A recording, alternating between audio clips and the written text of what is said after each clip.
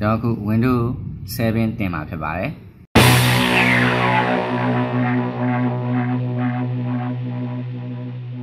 ကျွန်တော်ပါဝါလေးတစ်ချက်လောက်ဖွင့်လိုက်တယ်ကျွန်တော်တင်မဲ့ကွန်ပျူတာပြီးတော့ကျွန်တော်သူ့ရဲ့ boot menu ကြီးလေးပေါ့နော်ဒီကောင်လေး line နှိပ်ပြီးတော့ကျွန်တော် boot ရဲ့ boot menu လေးကိုဝင်လိုက်မယ်ကျွန်တော်ဒီမှာ external right ဟိုဟာနဲ့ CD ခွေနဲ့ကျွန်တော်တင်မှာဖြစ်တဲ့အတွက်တခုနဲ့တခုနဲ့တော့မတူဘူးပေါ့ delete key နှိပ်တဲ့ဟာနှိပ်တယ်ဟိုဟာတချို့တွေက ဟိုဟာတခြားဟို F1 တို့ဘာတို့ဟုတ်လောက်တာလောက်တယ်ဗောနော်အဲ့တော့ကျွန်တော်ဒီမှာဒီမြားလေးနဲ့ keyboard ကမြားလေးနဲ့ရွှေ့လို့ရတယ် boot ဆိုတဲ့နေရာမှာကျွန်တော်ကအခုဒီ transcend ဆိုတဲ့ USB drive လေးနဲ့ကျွန်တော်တင်မှာအဲ့တော့ကျွန်တော်ဒီကောင်လေးကိုဟိုအပေါ်ဆုံးတင်ထားမှာပေါ့အပေါ်ဆုံးတင်ထားတော့မှကျွန်တော်တို့ DVD ကနေ Windows တက်မယ်ဆိုတဲ့ပုံစံမျိုးပေါ့အဲ့လိုသွားမှာဆိုတော့ boot option မှာကျွန်တော်ရွေးလို့ရတယ်အဲ့မှာကျွန်တော်အပေါင်းနှုတ်လေးနဲ့ကျွန်တော်အပေါ်အောက်ချတာအနှုတ်ဆိုလို့ရှိရင် ဒီဒီဒီဥစ္စာလေးအောက်ကိုကြာပါမှာအပေါင်းဆိုလို့ရှိရင်အပေါ်ပြန်တင်ပါမှာအပေါ်ဆုံးဟာသူက boot တက်မယ်ဟုတ်သားကျွန်တော် boot တက်ပြီးတော့ရှင်အောက်က CD drive နဲ့တက်မယ်ပြီးတော့ HDD နဲ့တက်ချင်တယ်ဆို HD ပေါ်မှာနှိပ်ပြီးတော့ကျွန်တော်အပေါင်းလေးနှိပ်လိုက်ဒါဆိုလို့ရှိရင်ကျွန်တော်ပုံမှန် head နဲ့ Windows တက်တာအဲ့လိုမဟုတ်ဘူး USB နဲ့တက်ချင်တာကျွန်တော်တို့ကအခု Windows ကအခွေထဲမှာရှိတဲ့ဟာနဲ့တက်ချင်တာဆိုတော့သူ့အပေါင်းလေးနှိပ်လိုက်သူကအပေါ်ရောက်သွားလိမ့်မယ်အဲ့လိုပုံစံမျိုးထားမယ်ပြီးတော့ရှင်ဒီကောင်လေးပြန်ထွက်မယ်ဆိုရင်ကျွန်တော်ကစေ့ရမယ်စေ့မယ်ဆိုတော့ဒီ screen ညာဘက်မှာရှိရယ် ညာဘက်မှာရှိရယ် F10 ဆိုတာ save and exit ဆိုတဲ့ F10 F10 လေးကိုကျွန်တော်နှိပ်လိုက်တဲ့အခါမှာသူက yes no မိတယ်ကျွန်တော် enter ခောက်ပြီးတော့ yes ဆိုပြီးတော့ပေးလိုက်မယ်ကျွန်တော်တို့ခုတက်မှာက Windows ကခုနကအခွေ external drive ထဲကနေပြီးတော့ကျွန်တော်ရွေးလိုက်တဲ့ထဲမှာတက်မှာတကယ်လို့အဲ့ညမှာ USB stick ထဲမှာဆိုရင် stick ကိုရွေး။အော်ဒီမှာ DVD ကတက်မှာလားလို့မေးတယ်ကျွန်တော်တို့ကတက်မယ်ဆိုပြီးတော့ press any key တစ်ခုခုကိုကျွန်တော်တို့က press any key လောက်လိုက်တယ်သူအခွေထဲမှာကျွန်တော်တို့ရှိရဲ့ window အခွေထဲဟာကိုသူ loading ဆွဲပြီးတော့တက်လာလိမ့်မယ်။ဒီ မှာအဝိုင်းလေးလဲပြီးတော့သူ loading လေးတက်လာပြီအချိန်လေးတော့နည်းနည်းလေးတော့ပေးရတယ်။သူကအထက်ကဟိုဟာပေါ့အဆက်ကပိုကောင်းလို့ရှင်တော့ပိုမြန်တယ်။ဒီမှာတော့ကျွန်တော်တို့တင်တာကဒါကတော့ဟိုဟာပုံမှန်ဒီ Japan use တွေပဲဆိုတော့ကျွန်တော်ကပုံမှန်ပဲအဲ့တော့ဒီလို Windows 7ပုံစံလေးတက်လာပြီဆိုရင်ကျွန်တော်အပေါ်ဆုံးမှာကျွန်တော် language ရွေးလို့ရတယ်တော့ mouse လေးနဲ့ကင်ပြီးလဲရွေးလို့ရတယ် language မှာပါ language လဲကျွန်တော်တို့ရဲ့အခုအခွေရတော့ United States ဆိုတာပဲ support လုပ်တဲ့အတွက်ကျွန်တော် United States ပဲရွေးပါတော့ ဒီမှာလဲကျွန်တော် date ကန်တိုင်းနဲ့ဘာညာဒါရွေးပါတော့ပြီးတော့ရှင် next ဆိုတာလေးတစ်ချက်နှိပ်လိုက်ဒါကျွန်တော် repair လုပ်မှာလားကျွန်တော် Windows 7တင်ပြီးသားဆိုရင်တခါလေ Windows မတက်လို့ရှိရင် repair လုပ်လို့ရတယ်သူကသူ Windows ပြန်တက်သွားလိမ့်မယ်ဒါ repair လုပ်တာကျွန်တော်အခု repair လုပ်တာမဟုတ်ဘူးတခါ install တင်မှာဖြစ်တဲ့အတွက် install now ဆိုတာလေးကိုနှိပ်လိုက်တယ်ဒီမှာကျွန်တော် set ကောင်းလို့ရှိရင်ပို့ပြီးတော့ဟိုပါပေါ့ i IC တွေဆိုရင်ပို့ပြီးတော့မြန်လိမ့်မယ်ဒီမှာတော့ကျွန်တော်တို့ loading လေးနည်းနည်းစောင့်အောင်မယ် Okay ဒီမှာအခွေထဲမှာရှိတဲ့ data တွေကိုပြနေပြီကျွန်တော်တို့က Windows 7 Professional တင်ပါလား Ultimate တင်ပါလားဒါကိုရွေးလို့ရတယ်ကျွန်တော်ကဒီမှာ Ultimate ပဲတင်မယ်ကျွန်တော်ရဲ့ set ကလည်းနည်းနည်းလေးနှိမ့်နေရဆိုတဲ့အတွက်ကျွန်တော်က64နဲ့86 86ဆိုတာ32 bit ကိုခေါ်တာအောက်က64က64 bit ကိုခေါ်တာ64 bit ကတော့သူကပို့ပြီးတော့ requirement ပို့ပြီးတော့မြင့်နေပါတော့အဲ့တော့ကျွန်တော် set ကလည်းအဟောင်း ဟို Japan use ဖြစ်တဲ့အတွက်ကျွန်တော်86ပဲတင်မှအဆင်ပြေလိမ့်မယ်ကျွန်တော်86ကိုတင်လိုက်မယ် Windows 7 Ultimate 86ဆိုတော့32 bit version တင်လိုက်တယ်ပြီးသွားရင်တစ်ချက်ရွေးထားတယ်ပေါ့နော်ပြီးသွားရင် next ဆိုတာလေးနှိပ်ပြီးတော့နောက်တစ်ခါနောက် box လေးတစ်ခုကိုစောင့်မယ် Okay အဲ့မှာကျွန်တော်သူ့ရဲ့ Microsoft ကကျွန်တော်တို့သူ့ရဲ့ဟိုစီကံချက်တွေဖတ်ခိုင်းတယ်ဟို accept လုပ်ခိုင်းတယ်ကျွန်တော်ကမလုပ်လို့ရှင်သူ့ဥစားတုံးလို့မရဘူးလေအဲ့တော့အမှန်ကြီးလေးချက်နှိပ်ပြီးထည့်လိုက်အဲ့ကြတော့မှ next ဆိုတာလေးကလင်းလာမယ် တော့တစ်ချက်နှိပ်ပြီးတော့နောက်ပေါက်တစ်ခုသွားမယ်ဒီမှာကျွန်တော်တို့က Albrecht တို့ custom တို့ရှိရယ်ပုံမှန်တော့အပေါ်ဟာတော့ကျွန်တော်သုံးလို့ဟိုပါပေါ့ဟိုကို file တွေကိုထားဒီတိုင်းထားခြင်းနဲ့ဟိုပြန်ပြီးတော့ reinstall လုပ်တဲ့ပုံစံမျိုးမှာကျွန်တော်သုံးတယ်ပေါ့ဒါကတော့ကျွန်တော်အခုကတော့လုံးဝ custom install လုပ်မှာဖြစ်တဲ့အတွက်အောက်ကဟာကိုပဲရွေးလိုက်မယ် click တစ်ချက်နဲ့ဒီမှာကျွန်တော် partition တွေတွေ့ရလိမ့်မယ်ကျွန်တော်ဗမာ Windows ကို install လုပ်ချင်တာလေကျွန်တော်တို့ headed ထဲမှာ C နဲ့ D နဲ့ဆိုပြီးနှစ်ပိုင်းရှိတယ်ဒီ drive 0 partition ဆိုတာလေဒါလေးက system နေသူကသူ auto ပိုင်းပေးတာကျွန်တော်တို့ပိုင်းတာမဟုတ်ဘူးကျွန်တော်တို့ကနှစ်ပိုင်းပဲပိုင်းထားတာဒီဥစ္စာဆိုရင်ကျွန်တော်တို့ partition 2ဆိုလို့ရှိရင် C အောက်က partition 3ဆိုရင် D အထက်ထဲမှာကျွန်တော် C နဲ့ D နဲ့နှစ်ပိုင်းပေါ်တယ်ဒီနှစ်ပိုင်းကိုကျွန်တော်ပြထားတာ C မှာဆိုကျွန်တော်တို့က135ဆိုပြီးခွဲထားတယ်ဒီမှာဆိုလို့ရှိရင်ကျွန်တော်တို့က 130ခွန်ဆိုပြီးတော့ခွဲထားတယ်ဒါကတော့ကိုကြိုက်တယ်လို့ခွဲလို့ရတာပေါ့နော် data တွေခွဲလို့ရတယ်ကျွန်တော်အဲ့တော့ဒီအောက်ကထဲမှာ data တွေရှိရတယ်ဆိုလို့ရှိရင်ကျွန်တော် window တင်တဲ့အခါကျရင်ဖြတ်ပြီးတော့မှားပြီးတော့ဖြတ်တာတွေဖြစ်တယ်အဲ့တော့ဒီအောက်ကအပိုင်းကိုကျွန်တော်ဘာမှမလုပ်နဲ့ဒီဘောကအပိုင်းကိုပဲကျွန်တော်တို့တင်မယ်အထဲထဲက window data တွေကျွန်တော်တို့ပြတ်သွားလိမ့်မယ်ကိုယ့်ရဲ့ user data တွေကတော့ကျွန်တော်ကဒီထဲမှာတင်ထားတဲ့အတွက်ပြတ်မှာမဟုတ်ဘူးအဲ့တော့ဒီဥစ္စာတွေကျွန်တော် delete လေးလောက်ချလိုက်မယ်ကျွန်တော်ပထမဆုံးလောက်ချလိုက်မယ်ငွေချက်နှိပ်တယ် okay အဲ့ဒါကျွန်တော်အပေါ်မှာသူကသူ allocated space ဆိုပြီးတော့ကျွန်တော်ပေါ်သွားပြီဒီ drive ဥစ္စာလေးကိုလည်းကျွန်တော် delete လုပ်ချလိုက်မယ်အဲကျွန်တော်အကုန်လုံးအစ်စ်ကနေပြန်တင်ကျွန်တော်အကုန်လုံး delete လုပ်လိုက်တာ delete လုပ်တဲ့အခါမှာကျွန်တော်တို့ကပထမဥစ္စာဒီဥစ္စာရှိတယ်ဒါကတော့ C ခုနကပထမဆုံးအပိုင်းလေးပျောက်သွားတယ်သူကဒီထဲမှာဝင်သွားတာတော့ကျွန်တော်တို့က window တင်တော့မယ်ဆိုပြီးသူ့ကို new ဆိုပြီးတော့ပြန်ခေါ်လိုက်တဲ့အချိန်ကြတော့မှသူက ဒီမှာ system နေပိုင်းနဲ့အပိုင်းလေးတစ်ပိုင်းပြဝင်သွားမှာအဲ့တော့ကျွန်တော် new user လေးကိုကျွန်တော်နှိပ်လိုက်မယ်ကျွန်တော်ဘယ်လောက်ထိပိုင်းကျင်တာလဲဒီမှာကျွန်တော်တို့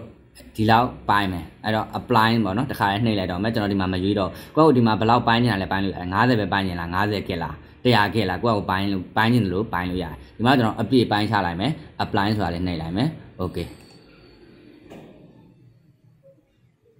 ဒါဆိုရင်ခုနအတိုင်းကျွန်တော်တို့အပိုင်းလေးပြန်ဝင်လာပြီ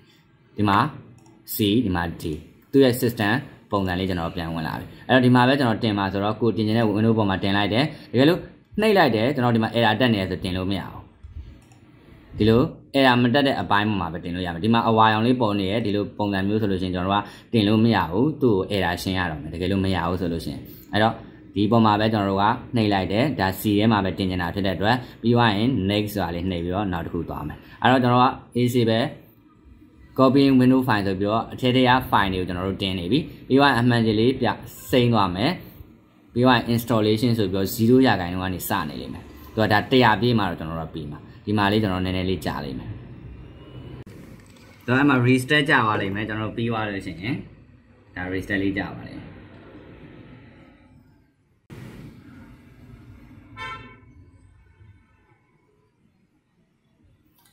အဲ့ချိန်မှာသူက DVD နဲ့တက်အောင်မှလာလို့ကျွန်တော်တို့မေးလိမ့်မယ်ကျွန်တော်တို့ဘာမှမနှိပ်တော့ဘူးအဲ့ချိန်မှာ DVD နဲ့မတက်တော့ဘူးသူကသူသူတင်ထားတဲ့ window နဲ့တက်လာအောင်ကျွန်တော်တို့ကထားလိုက်တော့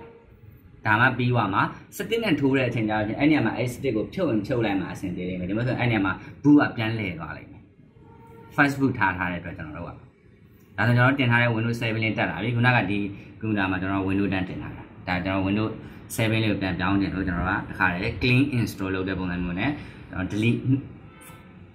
delete လုပ်ပြီးတော့ partition တွေကို delete လုပ်ပြီးတော့ပြန်ပြီးတော့ပြန်ဖော်ပြီးတော့မှဒါ window ပြန်တင်လိုက်တာဒါဆိုပထမဆုံး registry setting သူ update လုပ်နေတယ်ပြီးတော့ရင်သူထုံးစံတိုင်း window setting တွေတခုပြီးတခုပေါ်ပြီးတော့တက်လာလိမ့်မယ်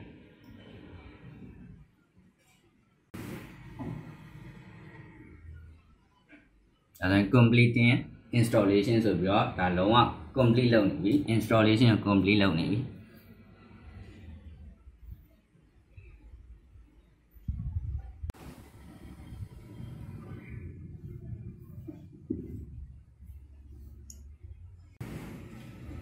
တော့ restart ထပ်လုပ်အောင်မယ်ပြီးသွားလို့ရှင်အချိန်တော့နည်းနည်းလေးပေးရမယ်တော့ window တစ်ခါတည်းအဲ့တော့ကျွန်တော် window ပြန်တက်လာလိုက်မယ်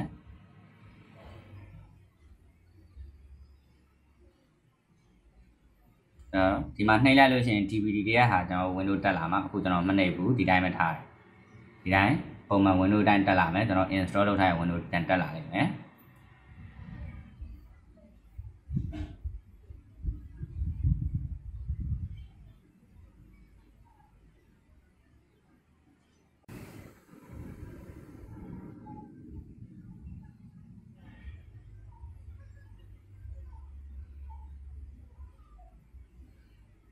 စာရတွေလောက်တယ်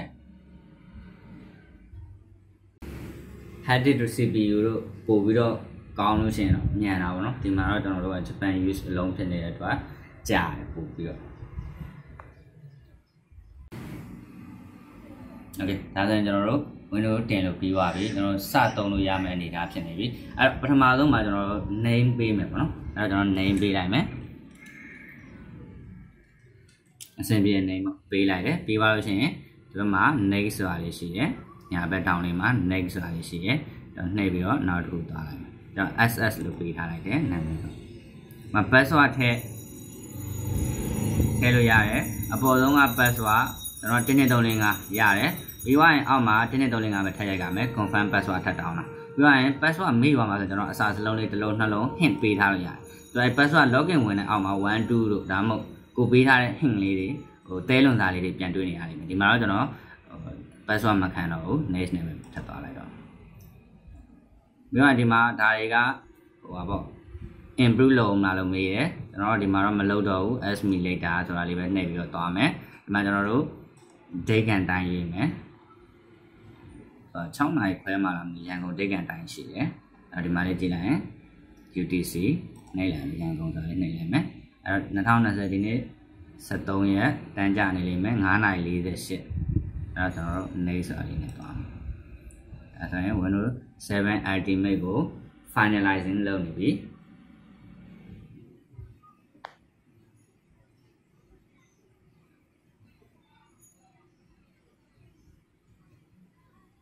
ဒါဝင်လို့ desktop prepare လုပ်ပေးနေတယ်ပြင်ဆင်ပေးနေရပါတော့ပြီးသွားလို့ရှိရင် icon လေးတက်လာတော့မယ်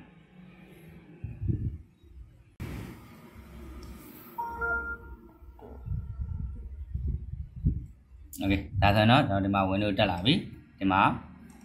software ကြီးဘာမှမလုပ်ရသေးတဲ့အတွက်ဘာမှမရှိသေးဘူးဒါဆိုကျွန်တော်တို့ဒီမှာသုံးလို့ရပြီ window သုံးလို့ရတယ်မတေကန်တိုင်းတို့အတန်တို့ဟုတ်ပြီအဲဒါ window တင်လာတော့ပြီးသွားပြီပြီးသွားပြီဒါပေမဲ့တချို့ဥစ္စာတွေမှာကျွန်တော် window တင်လိုက်တယ် activate မဖြစ်ဘူးဆိုလို့ရှိရင်ကျွန်တော် activate လုပ်ပေးရသေးတယ်အဲ့ဒါကတော့ကျွန်တော်ဒီမှာမပြောပြတော့ဘူး activate ဟိုပါပေါ့ KMS Pico တို့ပြီးသွားလို့ရှိရင် reload တာတို့ဒီလိုခေါ်တာပေါ့နော်အဲ့ဒါတွေ ရှိပါတယ်အဲ့အကောင့်လေးထည့်ပြီးတော့ install လုပ်လိုက်လို့ရှိရင်ဒီကောင် activate ဖြစ်သွားပြီဒီမှာတော့ activate လုပ်မပြတော့ဘူးဒါဆိုလို့ရှိရင်ကျွန်တော် window တင်တာပြီးသွားပြီဒီမှာ window ထဲမှာကျွန်တော်သုံးလို့ရပြီအဲ့တော့တခုအနေနဲ့ဒီပေါ်မှာကျွန်တော်တို့က computer ဆိုတဲ့ icon လေးတင်ကျင်တယ်အဲဒါဆိုရင် personalize chain desktop icon ဆိုတာလေးရှိတယ်တစ်ချက်နှိပ်လိုက်ပြီးတော့ computer ဆိုတဲ့ icon လေးမှာအမှန်ချက်ထည့် apply okay ဒါပိတ်လိုက်မယ်ဒါဆိုဒီမှာ computer ဆိုတဲ့ icon လေးပေါ်လာပြီ။မှာဖွင့်ပြီးတော့ အထဲထဲကျွန်တော်ပြန်ဝင်ကြည့်လို့ရတယ်။အထဲထဲမှာခုနပိုင်းထားတဲ့ C တို့ D တို့ဆိုတာအပိုင်းလေးကျွန်တော်ပြန်တွေ့ရမယ်။ဒီမှာကျွန်တော်တစ်ချက်ပြန်ပိတ်လိုက်မယ်။အဲ့တော့ဒီမှာ screen ကဘယ်လိုဖြစ်နေလဲဝါဝါဖြစ်နေကြီးကြီးဖြစ်နေတယ်။အဲ့ဒီမှာ screen resolution ကို adjust လုပ်ပေးကြည့်မယ်။ screen resolution right click လေးနှိပ်ပြီးတော့ screen resolution ဆိုတာလေးနှိပ်မယ်။ဒီမှာကျွန်တော်တို့အောက်ဆုံးမှာ low ဖြစ်နေတယ်အပေါ်ဆုံးကိုကျွန်တော် high အမြင့်ဆုံးထားကြည့်လိုက်မယ်ပြီးပါရင် apply key changes ဆိုတာနှိပ်မယ် okay ဒါဆိုကျွန်တော်ပုံမှန်မြင်ခွင့်လေးတိုင်းကျွန်တော်ပြန်ရသွားပြီဒါဆိုခုနဝါဝါးမဖြစ်တော့အဲလိုအဲ့အခြေအနေမှာကျွန်တော်တို့ကဝါးနေတော့မဲ့အဆင်မပြေသေးဘူးဆိုလို့ရှိရင်သူ့ရဲ့ video graphic driver ကိုတင်ပေးရမယ်အဲ့တော့အခုကျွန်တော်တို့လည်းဒီမှာလည်းတင်ထားတယ်ဒါပေမဲ့ network တွေအတွက် wifi တွေအတွက်တခု USB တွေအတွက်ထပ်ပြီးတော့လိုအပ်လို့ရှိရင် driver တွေတင်ပေးရပါတယ်အဲ့တော့ driver တင်တဲ့ဥစ္စာလေးတော့ကျွန်တော်နောက်တစ်ခုအနေနဲ့ပြောပြပေးမယ်ဒီမှာတော့ window တင်တာတော့ဒီလောက်ဆိုရင်ပြည့်စုံပါပြီ window ကျွန်တော်တို့ကြည့်ကြည့်လို့ရတယ် click channel right click property ဒီမှာကျွန်တော်တို့ window တစ်ခါရယ်ဒီမှာလည်း activate ဖြစ်နေပြီဒါဘာလို့လဲဆိုတော့ဒီဥစ္စာကျွန်တော်တို့အခွေတွေမှာဟိုတစ်ခါတည်း activate လုပ်ပေးပြီးသား activate လုပ်ပေးပြီးသားဆိုတော့ဘယ်လိုလုပ်ထားရလဲဆိုတော့တို့ကတခါတည်း crack လုပ်ပေးထားတာကျွန်တော်ကခိုးသုံးတဲ့သဘောပါဗျ crack လုပ်ထားတဲ့ပုံစံမျိုးအဲ့လိုသုံးထားတာเนาะတကယ်လို့ဟိုဟာဆိုလို့ရှိရင်တော့ကျွန်တော်တို့ကဒီ activate ဒီမှာ product ID မှာကျွန်တော်ကဝယ်ပြီးတော့ကျွန်တော်သုံးရမယ်ဒီ ID ဝယ်ပြီးတော့သုံးရမှာဖြစ်တယ်เนาะအဲ့တော့ကျွန်တော်တို့ကတကယ်လို့ဟိုဝယ်သုံးတာတော့ပို့ပြီးတော့အားပေးတယ်ပေါ့နော်အစင် တည်လို့ရှိရင်ဝယ်သုံးပြီးတော့ဟိုသူ့ရဲ့ future တွေအကုန်သုံးလို့ရတယ် online update တွေလုပ်လို့ရတာပေါ့နော်ဒီမှာတော့အခုတော့ Windows 7ကလည်း support မပေးတော့ဘူးဟို Windows 10ပဲ support ပေးတော့မနော်ဒါတွေကျွန်တော်ဝယ်သုံးလို့ရ Windows 10လည်းတင်တဲ့ပုံလေးကလည်းဒီတိုင်းလေးပါပဲအဲ့တော့ကျွန်တော်ဒီတစ်ချက်ပြန်ပေးလိုက်မယ် Windows တင်တဲ့ဒီလေးကတော့ဒါလေးပါပဲကျွန်တော် driver တွေ office တွေ install လုပ်တဲ့နည်းလေးကိုထပ်ပြီးတော့ပြောပြပေးပါမယ် okay ကြည့်ရှုပေးတဲ့အတွက် thank you ပါကြည့်ရှုပေးတဲ့အတွက်ကျေးဇူးပါ comment မှာလည်းမှတ်ချက်ရေးခဲ့နိုင်ပါတယ် like and subscribe လည်းလုပ်ပေးခဲ့ပါဦး thank you ပါ